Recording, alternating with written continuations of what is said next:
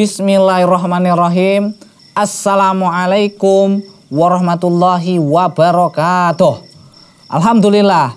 Wassalatu wassalamu ala rasulillahi amma ba'du. Pemirsa, apa kabar Anda di hari ini? Semoga semuanya masih tetap dalam keadaan sehat walafiat semuanya. Amin ya rabbal alamin. Pemirsa, hari ini kita kembali di acara kisah teladan.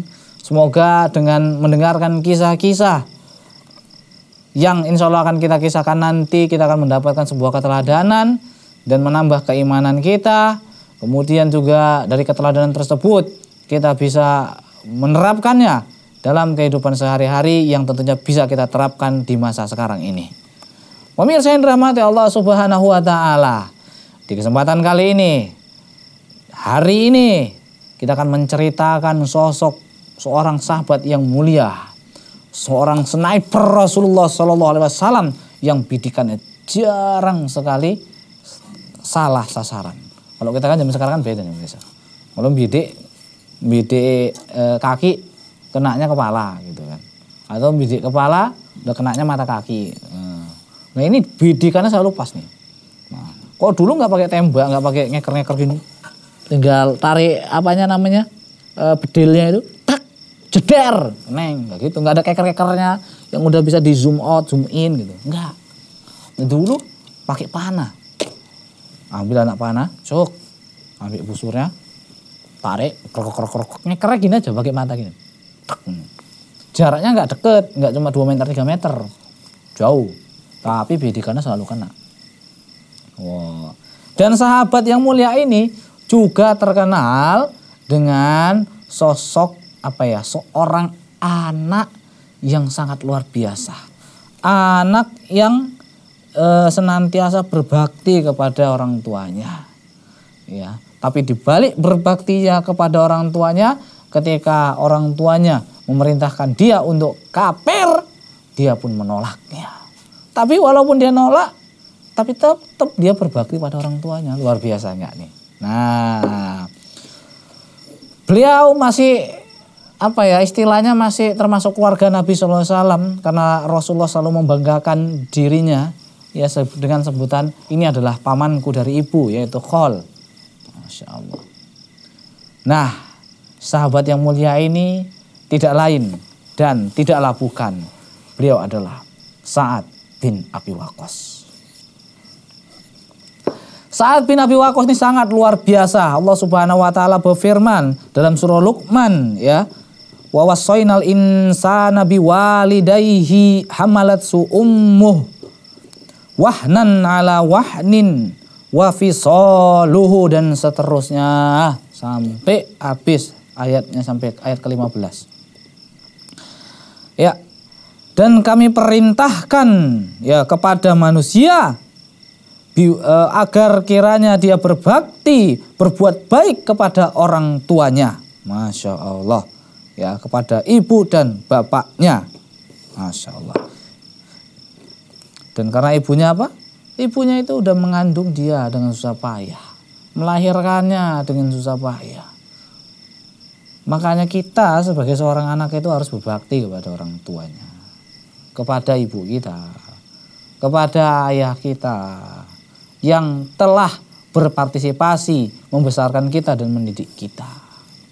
Nah, pemirsa yang dirahmati Allah Subhanahu wa taala. Ayat-ayat tersebutlah berkenaan dengan seorang apa ya perintah kita ya sebagai manusia untuk berbakti kepada orang tuanya. Ini berkenaan dengan seorang sahabat yang mulia ini yaitu Sa'ad bin Abi Waqqas. Nah, pahlawan kita di kesempatan kali ini kisahnya sangat luar biasa. Beliau ya di masa usia yang belia kurang lebih memasuki usia remaja 17 tahun tapi dia memiliki sebuah pemikiran yang sudah dewasa. Pemikirannya nggak pendek, bukan hobinya cuma keluyuran main-main ya, rono rene, ya dolanan numpak kuda, rono rene, panah-panahan ya. Cuma itu tok enggak, melainkan otaknya itu, pemikirannya itu sudah sangat dewasa. Dia mengetahui mana yang benar, mana yang hak, mana yang batil. Dia melihat jahilianya orang-orang di masanya menyembah patung. Dan itu nggak masuk akal sama dia. Wong satung kok digawe sama tukang patung tok tok tok tok tok tok tok. Wis dadi ditaruh di daerah Ka'bah. Loh disembah-sembah dimintai pertolongan dijadikan tawasul kepada Allah Subhanahu wa taala yang menurut dia itu nggak masuk akal. Wong agama kok kayak gini ngono kira-kira nih pemirsa yang dirahmati Allah Subhanahu wa taala. Akhirnya pemirsa yang dirahmati Allah Subhanahu wa taala ya memang eh, saat bin Abi Wakos ini orangnya apa ya? Hobinya memana luar biasa. Bidikannya itu nggak pernah gagal. Jarang banget gagal. Ya saya, saya sebutkan tadi. Kalau kita mana ngincer kaki ya kenanya kaki betul. Kalau kita ngincer e, dodo ya kenanya dodo betul. Nak jantung jantung betul gitu. Memang luar biasa dia bidikan panahnya itu.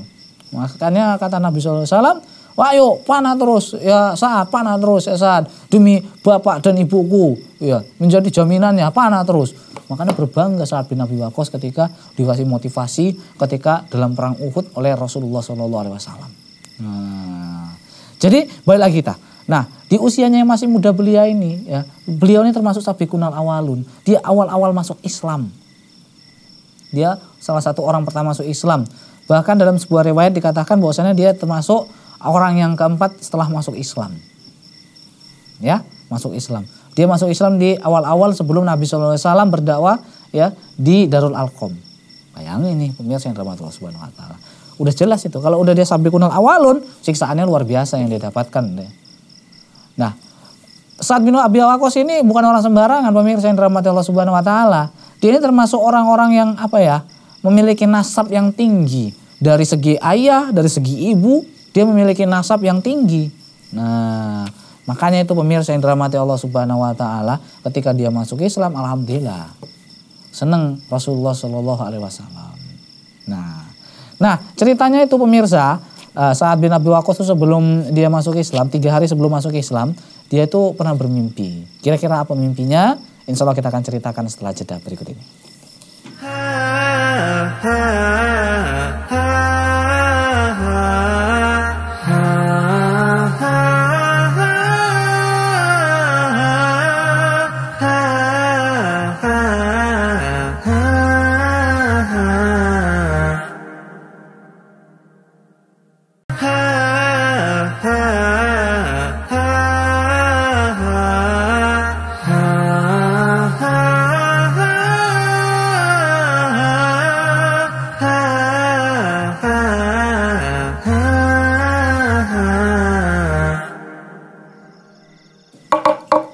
Pemirsa, kita kembali lagi di acara kisah teladan kita masih menceritakan sosok sahabat yang mulia yaitu Sa'ad bin Abi Waqqas.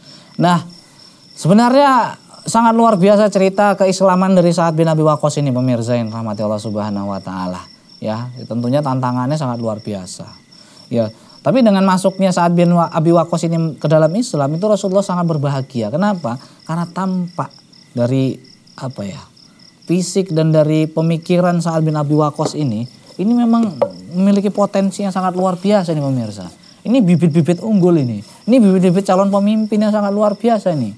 Makanya Rasulullah tuh wah udah memprediksi hal tersebut dan dia uh sangat bahagia ketika saat bin Abi Waqqas masuk dalam Islam. Konon lagi, ditambah lagi bahwasannya saat bin Abi Waqqas itu memiliki kedudukan yang mulia, memiliki uh, nasab yang cukup luar biasa. Makanya saat bin Abi Waqqas itu itu termasuk apa ya hitungannya itu khol karena dia ada kayak nasab-nasab jumpa sama ibunda Nabi SAW yaitu Aminah. Hmm. Ya, nasabnya jumpa sehingga Rasulullah SAW itu berbangga. Ketika saat bin Nabi Waqqas itu masuk ya ke dalam sebuah majelis maka Rasulullah pernah mengatakan bahwasannya nah ini nih ini lo pamanku dari ibu nih. Nah ini lo kholi, nah ini lo pamanku dari ibu. Nah boleh di antara kalian untuk menyebutkan siapa-siapa aja paman-paman kalian gitu. Masya Allah. Makanya pemirsa yang dirahmati Allah Subhanahu wa taala, sangat bangga lah saat bin Abi Waqqas diumbang oleh Nabi sallallahu alaihi wasallam ketika itu.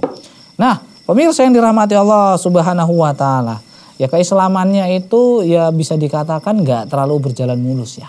Nah, tadi kita ceritakan bahwasannya tiga hari sebelum masuk Islamnya saat bin Abi Waqqas ke dalam Islam itu dia bermimpi. Mimpinya itu dia tenggelam di dalam sebuah kegelapan yang gelap oleh gelap gelap. Kemudian tenggelam loh tolong tolong tolong gitu gelap gitu kan. Dengan ketakutannya kemudian dia ada nampak sebuah cahaya. Cahaya rembulan. Kemudian sedikit demi sedikit dia merayap untuk mendatangi cahaya tersebut gitu kan. Udah sampai, wih ternyata di sana sudah ada seorang tiga seorang laki-laki. Yaitu kata saat bin Waqqas dia melihat Zaid bin Harisa, kemudian Abu Bakar As-Siddiq dan juga Ali bin Abi Thalib. Kemudian ditanya sama eh, siapa sama Sa'ad bin Abi Waqqas. Yuh, sejak kapan kalian di sini? Oh, baru aja kata mereka bertiga gitu. Ternyata mimpi itu pemirsa yang dirahmati Allah Subhanahu wa taala itu adalah sebuah tanda, sebuah kode ya. Maksudnya mimpinya orang-orang soleh luar biasa. Kalau kita kan lain. Apalagi masa-masa jahiliyah dulu kita. Uh, orang baru bangun tidur ditanya, mimpi apa gue? Uh, tak pasangi lah, tak delok nang uh, apa nih tafsir erek-erek. Hmm, kan gitu kan. Nah, kita nggak cerita itu pemirsa yang dirahmati Allah Subhanahu wa taala. Kita balik lagi ke kisah Sa'ad bin Abi Waqqas. Nah, ketika dia bermimpi melihat bahwasannya sudah ada tiga orang yang mendahuluinya ke rembulan tersebut, yaitu uh, ada Abu Bakar As-Siddiq, Zaid bin Harisa dan Ali bin Abi Thalib. Nah, itu adalah mimpinya sebuah kode. Karena keesokan harinya dia diajak masuk Islam. Ya ketiga hari setelahnya dia diajak masuk Islam oleh Rasulullah Shallallahu Alaihi Wasallam. Nah, ketika itu dia pun bergegas ya menuju ke Bukit Jiyad. Nah, Bukit Jiyad ini dekat dengan kota Mekah ketika itu. Ada bukit namanya Bukit Jiyad. Hmm. Jadi pas datang ke situ dia melihat Nabi Shallallahu Alaihi Wasallam itu sudah selesai melaksanakan sholat asar kalau saya nggak salah.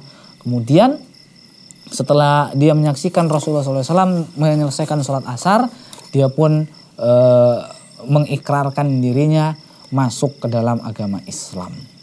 Masya Allah. Nah pemirsa yang rahmati Allah Subhanahu Wa Taala, setelah keislamannya, wah ini dia mulai berat nih, ya. Gimana setelah dia masuk Islam, setelah dia mendapatkan hidayah, setelah dia mendapatkan cahaya Islam di dalam hatinya, ibunya pun mendengar bahwasannya anak kesayangannya, anak yang senantiasa berbakti kepadanya, dia telah murtad dari agama nenek moyangnya dan dia mengikuti agama yang dibawa oleh Muhammad bin Abdullah yaitu Islam. Kemudian ibunya pun menangis, wala anakku lele, kok gue murtad lo le, kok masuk gue ke agamanya si Muhammad lele. Oh, nangis ibunya. Kemudian dia pun mengikrarkan perkataan yang sangat luar biasa disampaikan oleh ibu dari Sa'ad bin Abi Waqqas. Le, ya, wah anakku, aku nggak akan bakalan makan, aku nggak akan bakalan minum sampai kamu meninggalkan agamamu yang sekarang ini, ya, kembali ke agamamu terdahulu. Kemudian Sa'ad bin Abi Waqqas, bu, jangan bu, jangan Aku nggak mau tahu kata ibunya. Pokoknya aku nggak mau bakalan makan, nggak bakalan minum sampai aku mati, sampai kue nyesel seumur hidup menyaksikan emakmu, menyaksikan ibumu mati gara-gara kamu. Ancaman dari ibu saat bin Abi Waqqas. Pemirsa yang dirahmati Allah Subhanahu wa taala. Ancaman tersebut bukan main-main, bukan hanya gertak sambel, yang kepedesan sedikit besok makan lagi. Enggak. Melainkan ternyata benar. Ancaman dari ibu saat bin Abi Waqqas benar-benar dilakuinya, benar-benar dikerjakannya. Ibu dari saat bin Abi Waqqas betul-betul enggak mau makan, enggak mau minum, nesu, merajuk. Kepada saat bin Abi Waqqas yang anak sayangannya tersebut telah meninggalkan agama nenek moyangnya. Kemudian pemirsa yang dirahmati Allah Subhanahu wa taala, akhirnya setelah beberapa hari ya e, berjalan mulailah lemah kondisi dari orang tua saat bin Abi Waqqas. Mulailah lemes, kayak mana nggak lemes, orang mak nggak makan nggak minum, puasa nggak buka-buka. Lah akhirnya kayak lumpuh gitu nggak bisa gerak gitu, ya kelenger gitu. Ya Allah ngelak, ya Allah aus lah ya lapar lah lapar bisa ditahan kalau aus gimana loh. Sampai kurus kering gitu. Masya Allah. Tapi saat bin Abi Waqqas terus. Tiap hari datang ngerayu ibunya. Bu minumlah bu. Bu minumlah bu. Bu minumlah bu. Emoh nggak mau aku. Gue kalau mau aku minum gue kalau mau aku makan tinggali agamanya Muhammad. Pemirsa yang dirahmati Allah Subhanahu wa taala, kira-kira apa yang dilakukan oleh Sa'ad bin Abi Waqqas setelah mendengarkan perkataan dan perbuatan dari ibunya tersebut? Insya Allah kita akan ceritakan setelah yang berikut ini.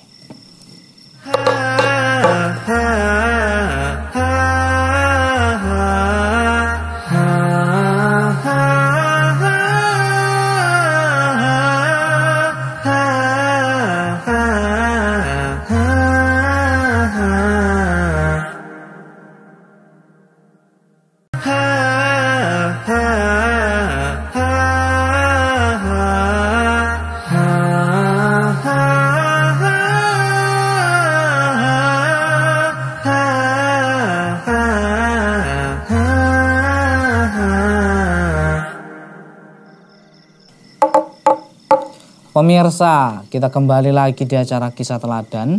Kita masih menceritakan sosok sahabat yang mulia, yaitu Sa'ad bin Abi Waqqas.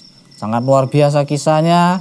Beliau termasuk orang sabiqunal awalun, ya, yaitu menurut ya, sebuah riwayat dikatakan dia ada termasuk orang keempat yang masuk Islam. Sebelum keislamannya, tiga hari sebelum dia bersahadat di hadapan Rasulullah SAW, dia bermimpi bahwasannya dia tenggelam dalam sebuah kegelapan tanpa cahaya. Setelah dia tenggelam, kemudian dia nampak sebuah cahaya kecil dan seperti sebuah rembulan. Sedikit demi sedikit dia datang, datang menghampiri cahaya tersebut dan tampak sudah ada tiga orang yang berada di dalam cahaya tersebut, yaitu ada Ali bin Abi Thalib, Abu Bakar As-Siddiq dan Zaid bin Harisah. Nah, pemirsa yang rahmati Allah Subhanahu wa taala. Tiga hari setelah mimpinya tersebut, akhirnya Rasulullah SAW ya mengajaknya dalam Islam dan dia pun bersahadat di hadapan Rasulullah SAW di atas bukit Jihad. Kemudian ya dia berbangga dengan keislamannya tersebut dan dia termasuk sabiqun al awwalun. Kemudian nih pemirsa yang rahmati Allah Subhanahu wa taala, ketika orang tuanya, ibu tercintanya yang selama ini senantiasa dia hormati, yang selama ini senantiasa dia berbakti kepadanya, mendengarkan anaknya, putra kesayangannya, putra yang cerdas dan hebat itu, jago akan memanah, jarang panahnya kesasar, kalau dia ngincer kaki, kenanya kaki. Kalau dia ngincer badan, kenanya badan. Kalau dia ngincer kepala, kenanya kepala. Itulah kehebatan Sa'ad bin Abi Waqqas. Memiliki pemikiran yang dewasa, cerdas, nan luar biasa. Tanpa dah bibit-bibit unggul. Bahwasannya nih bocah nih ini bakalan nanti menjadi seorang yang luar biasa. Ini bukan orang sembarangan. Ini orang ini bakal menjadi orang besar. Nah, begitulah pemirsa yang dirahmati Allah Subhanahu wa taala. Ibunya kecewa setengah mati. Ibunya sangat bersedih ketika mendengarkan anaknya telah murtad dari agama nenek moyangnya yang awalnya menyembah berhala, menyembah batu, Kali ini dia kok menyembah Allah Subhanahu wa taala semata. Dia mengikuti agamanya Muhammad Shallallahu alaihi wasallam. Akhirnya ibunya meracuk, ibunya nggak mau makan, oh ibunya nggak mau minum, ya sampai ancamannya tersebut. Tuh kalau kamu saat kamu nggak mau ya masuk kembali ke agama nenek moyangmu, maka biar aku nggak mau makan, nggak mau minum sampai aku mati, sampai aku modar, sampai nang hatimu penyesalan yang tak akan pernah terbayarkan karena kamu telah merasa telah membunuh ibumu lah kurang lebih. Gara-gara perbuatanmu ibumu nggak makan nggak minum. Wih ujung-ujungnya motor. Tiap hari datang saat bin Abi Waqqas membawakan minum ya. Bu minumlah bu sedikit aja bu. Setelah pun jadi bu. Nggak mau aku. Besoknya datang lagi. Bu minumlah. Makanlah. Dikit aja. Nah tak suapi. Ah, ah, ah, ah, ah. Enggak, enggak mau aku. Ibunya terus gengsinya Sampai ibunya lemes, betul lemes, lemes, badannya kurus kerempeng, tulangnya nampak jendol-jendol. Kemudian nih pemirsa yang dirahmati Allah Subhanahu wa taala. Saat bin Abi Waqqas pun berkata dengan perkataan yang sangat luar biasa. Ibu, sekalipun kau memiliki seribu nyawa, dan seribu nyawa tersebut satu persatu keluar dari ragamu. Aku tidak akan pernah meninggalkan agama yang kupegang saat ini. Tapi aku tetap akan berbakti kepadamu karena itu adalah sebuah kewajiban. Akhirnya pemirsa, ibunya ketika mendengarkan perkataan dari Sa'ad bin Abi Waqqas pun dia pun berputus asa akhirnya sedikit demi sedikit. Ya lah ndablek emang diomongin aku. Mana minum tadi lah. Tak minum aja lah. Akhirnya ibunya pun memutuskan puasa yang enggak bersyariat tersebut. Puasa yang tak berbuka. Akhirnya ibunya pun kembali hidup normal dan pasrah dengan keadaan anaknya dengan akidah anaknya yang baru, akidah yang hak, akidah yang tak akan merusak kehidupan akhiratnya. Pemirsa yang dirahmati Allah Subhanahu wa taala. Luar biasa. Sa'ad bin Abi Waqqas. Sosok sahabat yang mulia yang senantiasa berbakti kepada orang tuanya. Walaupun orang tuanya ketika itu belum masuk ke dalam agama Islam. Konon lagi kita nih pemirsa, orang tua kita Islam, ibu kita Islam, disuruh ngaji kita kok nggak mau, disuruh belajar agama kok nggak mau. Astagfirullah. Maka kita hendaknya mengabdikan diri kita kepada ibu dan bapak kita. Selama perintahnya tersebut tidak bermaksiat kepada Allah dan Rasulnya. Karena ingat perkataan Sa'ad bin Abi Waqqas. Kalau kau punya nyawa ada seribu keluar satu persatu. ya Aku nggak akan mau meninggalkan agama ini. Ada sungguhnya aku ya lebih mencintai Allah dan Rasulnya ketimbang diri. Kata Sa'ad bin Abi Waqqas. Waduh, waduh. Ibunya pun berputus asa hingga akhirnya dia pun makan. Nah, itulah pemirsa yang dirahmati Allah Subhanahu wa taala. Kisah dari Sa'ad bin Abi Waqqas. Beratnya tantangannya diancam dengan kematian ibunya yang mungkin diancam lagi ibunya mati gara-gara dia. Gara-gara dia meninggalkan agama nenek moyangnya. Ibunya meracuk, ibunya nasu-nasu, akhirnya nasunya tersebut pun nggak bertepi ya ataupun akhirnya bertepi dikarenakan akidah yang kuat yang dimiliki oleh Sa'ad bin Abi Wakos. Pemirsa, semoga bermanfaat. Semoga kita termotivasi dengan kisah dari Sa'ad bin Abi Wakos yang telah memeluk Islam, menjemput cahaya hidayah kepada dirinya. Walaupun ibunya seorang yang masih kafir.